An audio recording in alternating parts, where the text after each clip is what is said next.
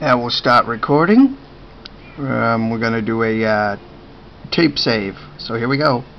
I've got the recorder ready to go.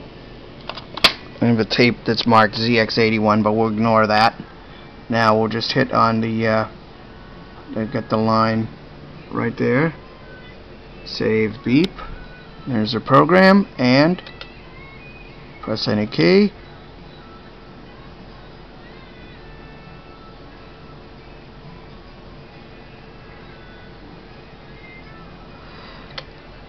Now, it should have saved, so now we'll go and play it back in a minute here. Hold on, turn this off.